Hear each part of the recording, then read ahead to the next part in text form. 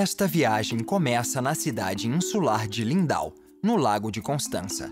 Seguindo a oeste, depois de castelos impressionantes, fica a cidade-spa de Baden-Baden. Depois a jornada segue a leste até Ulm e a sul até Füssen. Os destinos seguintes são os Alpes bávaros e uma série de castelos saídos de contos de fadas. Chegando a Oberammergau, a jornada continua a leste até o Lago Chiemsee. E perto da fronteira com a Áustria, a viagem termina em Berchtesgaden, em uma casa impressionante no topo de uma montanha. Aproximadamente no meio do Lago de Constança, encontra-se a fronteira entre a Alemanha, a Suíça e a Áustria. Na Alemanha, o lago é chamado de Bodensee. Aqui fica a antiga cidade bávara de Lindau. Sua única ligação com o continente é uma ponte construída em 1853, que permitiu que trens e carruagens chegassem à ilha. O que seguiu foi a criação de um porto novo e do único farol da Baviera.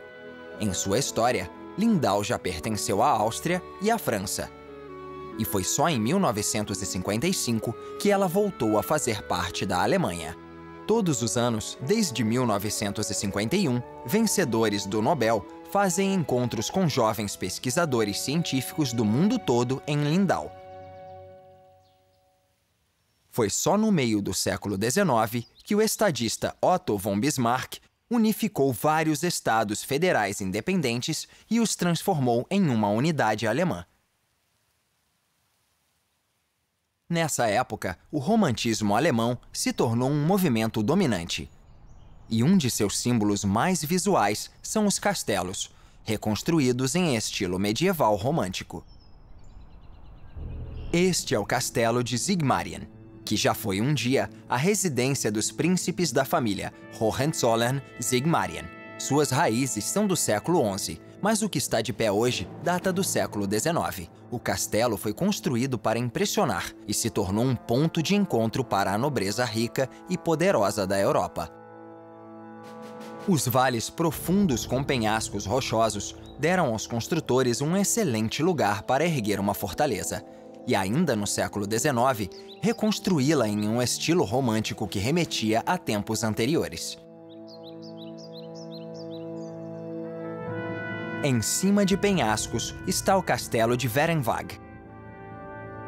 Palácios são construídos neste lugar desde o século XII, mas esta construção é dos anos 1830, quando os príncipes de Fürstenberg herdaram a propriedade e fizeram reformas. O resultado é este incrível edifício. Deve ter sido uma tarefa muito difícil erigir o castelo neste alto penhasco.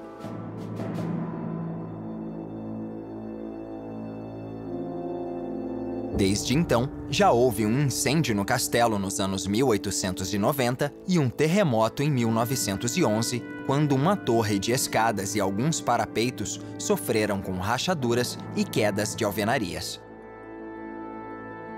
No outro lado do vale, encontra-se o castelo de Wildenstein. A construção data do século XII e a versão atual ainda tem vestígios da original. Uma ponte estreita liga os estábulos e os prédios auxiliares ao castelo principal neste penhasco rochoso. Esta região da Alemanha conta com castelos de todos os tipos e tamanhos e muitos estão acima de afloramentos rochosos e revelam vistas maravilhosas. Mas este pequeno palácio não se compara a outro, 30 quilômetros ao norte. É um dos grandes castelos europeus e pode ser visto de muito longe. No topo desta montanha de 900 metros de altura fica o castelo de Hohenzollern, foi construído pelo rei Frederico Guilherme IV da Prússia em 1850 e levou 17 anos para ficar pronto. Este é outro ótimo exemplo de um castelo do romantismo alemão, construído em uma enorme escala. O estilo incorpora a visão idealizada de como um palácio de um cavaleiro medieval deveria ser, mas é difícil que algum deles tenha tido esta aparência digna de um conto de fadas. Ele também foi feito para impressionar e melhorar a reputação da família real da Prússia. descendente dos moradores do primeiro castelo construído neste local no século XI. Em 1423, Hohenzollern foi sitiado durante um ano e totalmente destruído. Só restaram registros escritos de sua existência. Trinta anos depois, ele foi reconstruído e, ao longo dos três séculos seguintes, foi ocupado por países diferentes, como a Áustria e depois a França. Ao fim do século XVIII, o castelo estava em péssimo estado. Só a capela de São Miguel estava utilizável e foi incorporada a terceira e atual encarnação do Hohenzollern. Depois que o castelo foi reconstruído, não foi usado como residência permanente, apenas como destino turístico. Ele ainda é propriedade particular da família que dá nome ao palácio. Hohenzollern recebe 300 mil visitantes por ano, sendo um dos castelos mais populares da Alemanha.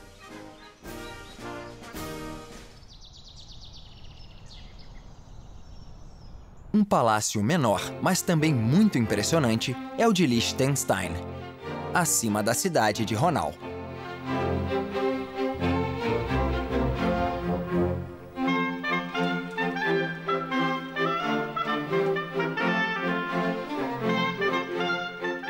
Este castelo romântico neogótico foi construído na década de 1840 para o Duque Guilherme de Urach, Conde de Württemberg. O design foi inspirado por um popular romance histórico, Liechtenstein, publicado em 1826. Como Hohenzollern, esta é a terceira encarnação do Liechtenstein. As duas primeiras foram destruídas uma depois da outra no século XIV. Até chegar às mãos do Duque Guilherme, o castelo estava em péssimo estado. Alguns dos cômodos mais baixos foram esculpidos diretamente na rocha que serve como base do castelo. A torre foi acrescentada 50 anos depois, no fim do século XIX. Este palácio, digno de um conto de fadas, ainda pertence aos duques de Urach e é um popular destino turístico. A 20 quilômetros fica Tübingen, uma das cinco cidades universitárias alemães clássicas. As outras são Marburg, Göttingen, Freiburg e Heidelberg. O antigo castelo agora faz parte da universidade e seus 25 mil alunos são quase um terço da população da cidade. Entre os eminentes estudantes que atravessaram estas ruas antigas estão o astrônomo seiscentista Johannes Kepler e Joseph Ratzinger, o Papa Emérito Bento XVI. A oeste e na fronteira com a Floresta Negra está a cidade spa Baden-Baden. Em alemão, Baden significa banhar. Antigamente, a cidade era chamada apenas de Baden. E o nome duplo só passou a ser usado oficialmente em 1931. É uma redução de Baden em Baden, já que fica no estado de Baden-Württemberg. Foi na época do Império Romano que o poder de cura da água foi reconhecido. Acredita-se que o imperador Adriano tenha fundado a cidade e que Caracalla tenha ido lá por conta das dores que sua artrite lhe causava. Depois do fim do domínio romano, a cidade ficou decadente durante vários séculos. Foi só no fim do século XVIII que Baden-Baden foi redescoberta como uma cidade-spa. No início do século seguinte, o resort atraía os ricos e famosos, como os compositores Berlioz e Brahms, e o autor Dostoiévski, que escreveu O Jogador enquanto fazia apostas no cassino. Os hotéis de luxo hospedavam a realeza europeia, como a Rainha Vitória, Napoleão III e o imperador alemão Guilherme I. Em uma colina acima de Bad Urach está o antigo castelo de Hohen-Urach, usado como prisão na Idade Média. Ao longo dos tempos, passou a ser temido e odiado pelas pessoas. Então, quando a prisão foi fechada no século XVIII, o povo subiu a colina e destruiu o edifício.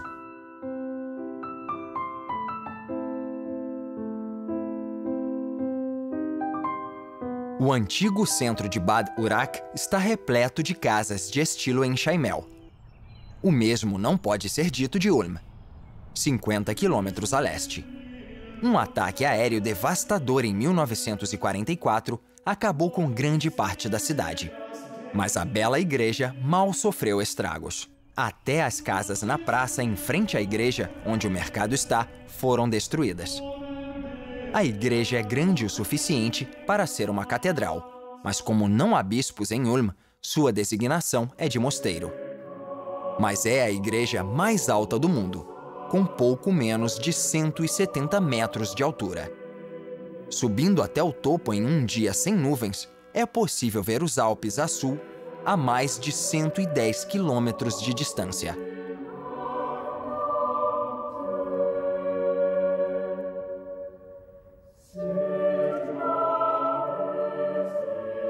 A construção começou no meio do século XIV, mas foi interrompida várias vezes até que o trabalho parou de vez no século XVI.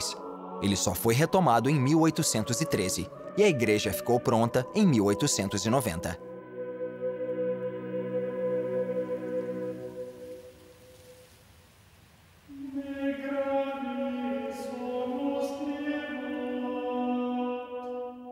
Dezesseis quilômetros a leste encontra-se a Abadia de Hogenburg, que foi fundada no século X.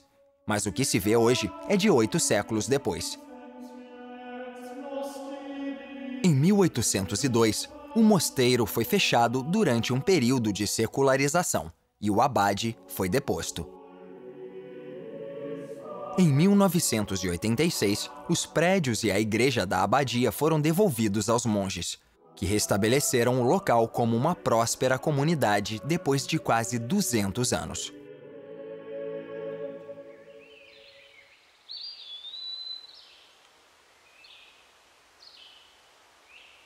Seguindo a sul pelas terras bávaras, a jornada chega à base dos Alpes, a grande cordilheira que serve como fronteira com a Áustria e a Suíça. E ao norte do rio Lech fica a antiga cidade de Filsen. Foram os romanos que fundaram a cidade aqui, já que ficava em uma estrada principal através das montanhas até a Itália, e eles precisavam de uma base para os soldados protegerem a rota. O ponto turístico principal da cidade é o castelo, que oferece uma vista da cidade toda. É uma das construções do gótico tardio mais bem preservadas da região. Filsen está cheia de casas medievais, e o centro sofreu poucas alterações. A cidade é um reduto popular para visitantes que exploram as montanhas e os dois incríveis castelos. O primeiro é Hohenschwangau, construído nas ruínas de um outro castelo em 1833 pelo rei Maximiliano II da Baviera e sua esposa Maria da Prússia. A rainha gostava muito de andar pelas montanhas e, com frequência, levava Otto e Ludwig, seus filhos. Quando Ludwig herdou o trono em 1864, ele começou a planejar e construir um dos castelos mais incríveis do mundo, no lugar de outro castelo antigo, a menos de dois quilômetros de sua residência na infância.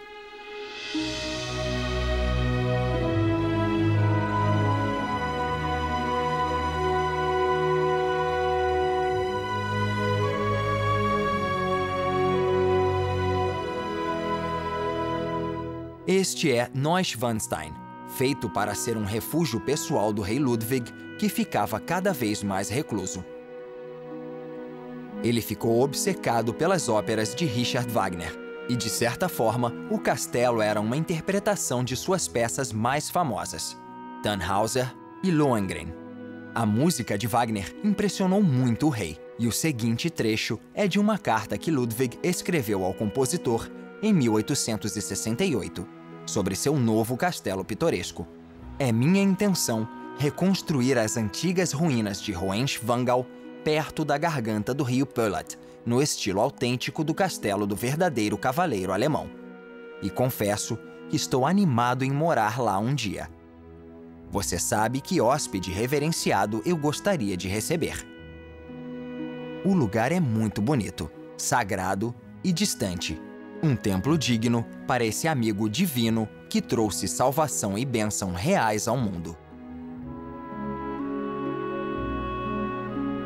O custo foi imenso e superaria 150 milhões de dólares em valores atuais. Em vários momentos, mais de 300 trabalhadores labutavam, e à noite com a luz de lamparinas. Todo o dinheiro veio dos bolsos do rei e de empréstimos que ele fez. O custo acabou subindo muito, e ao fim da construção tinha sido o dobro do orçamento. Um dos motivos de construir o castelo aqui pode ter sido a vista da ponte que sua mãe mandou fazer para atravessar a garganta. Ela adorava andar neste lugar, e a paisagem deve ter impressionado muito Ludwig. Infelizmente, ele passou apenas 172 dias neste castelo. Como Ludwig foi declarado mentalmente instável e morreu aos 41 anos, em 1886, ele também ficou conhecido, talvez indelicadamente, como o Rei Louco mas em seu legado deixou um dos castelos mais fantásticos do mundo, que serviu até como inspiração para o Castelo da Bela Adormecida na Disneylândia.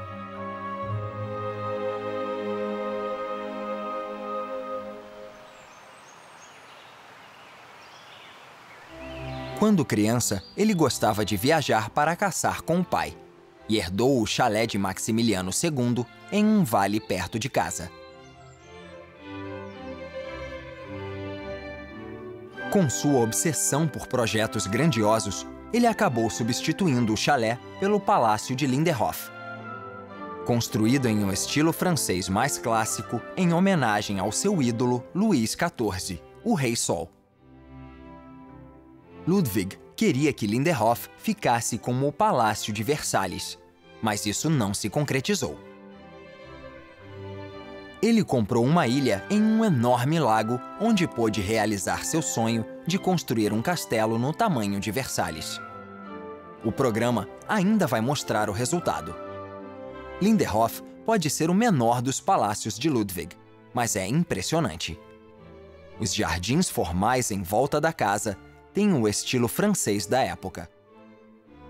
Ao norte, o declive do terreno permitiu a construção de uma cascata e a água desce os mais de 30 degraus de mármore e chega à fonte de Netuno no fundo. O pavilhão de música fica no topo. Nos lados leste e oeste estão parterres formais e coloridos, com estátuas, fonte e passagens cobertas. No lado sul, a água de uma fonte dourada podia chegar a até 20 metros. Ela fica no jardim do terraço de três andares perto de um templo, acima do qual há um adorno de ouro. No parque, inspirado pelo movimento do paisagismo inglês, ele quis edificações, incluindo um pavilhão mouro, comprado em 1876. Sua extravagância não tinha limites e acabou sendo o seu fim.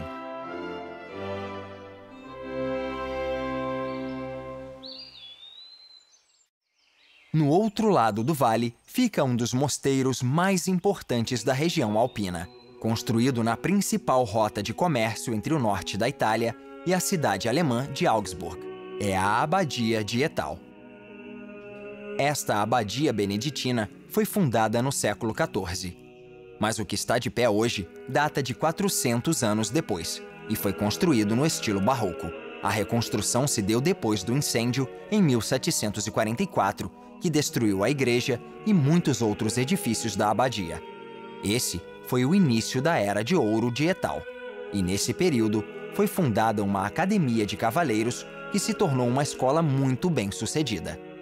Mas essa prosperidade chegou ao fim em 1803, com a secularização das propriedades da igreja. Só em 1898, a abadia seria devolvida a monges beneditinos de um mosteiro próximo, porque um rico defensor do catolicismo comprou os prédios de volta. A pouco mais de um quilômetro ao norte está Oberammergau, conhecida mundialmente por conta de sua representação da Paixão de Cristo, interpretada desde 1634. Os habitantes fizeram um juramento. Se Deus os protegesse da peste, eles fariam essa representação de 10 em 10 anos. Eles foram poupados e agora cumprem o que prometeram em todos os anos terminados com zero. A representação de 2010 envolveu 2 mil pessoas e durou 7 horas, com apresentações entre maio e outubro. Quase 100 quilômetros a leste, perto dos Alpes Bávaros, fica Chiemsee, um lago de água doce. Às vezes, ele é chamado de Mar Bávaro e é um lugar popular para velejar e praticar outros esportes aquáticos. Quem quiser viajar de um jeito mais tranquilo pode usar os antigos barcos a vapor, que oferecem uma forma mais calma de conhecer o lago.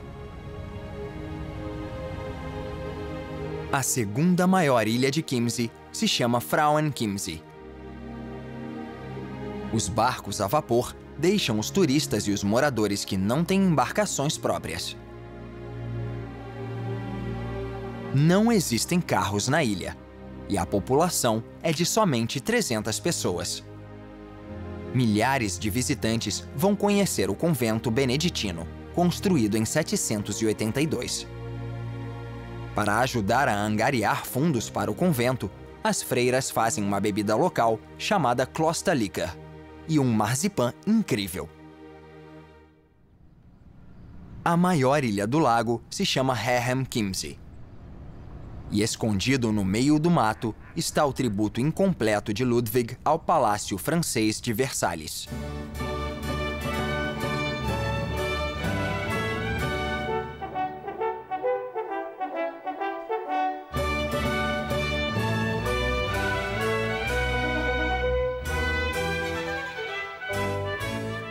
Infelizmente, o rei passou poucos dias no castelo no ano anterior à sua morte mas o custo do que ele construiu se equivaleria hoje em dia a pouco mais de 100 milhões de dólares. Só a seção central ficou pronta, porque a construção parou um ano após a morte de Ludwig. O trecho do jardim que foi concluído copia o estilo de Versalhes, com fontes, parterres e uma longa allée, ou avenida central, que atravessa a ilha com seus mais de 2 quilômetros. Como o palácio fica em uma ilha e só é acessível de barca, ficou na sombra do castelo mais famoso de Ludwig, Neuschwanstein. Quem gosta da arquitetura romântica alemã precisa conhecer este edifício insular.